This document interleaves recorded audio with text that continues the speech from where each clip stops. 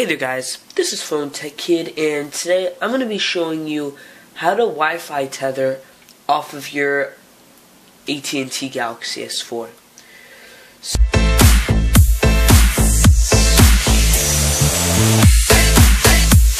So the first thing you want to do is where it says ES File Explorer, you're going to search that up in the Play Store, okay? It's called ES File Explorer, you can see right there.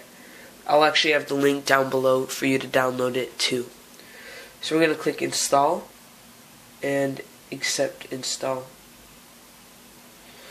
To let it download, should do it fairly quickly.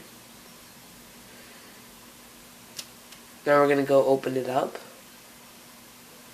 And there you go. So you do not need root for this method, which is really, really cool. So anybody could do this if you have AT&T S4. So what we're going to do is we're going to click the menu button, Tools, and we're going to go down to Net Manager.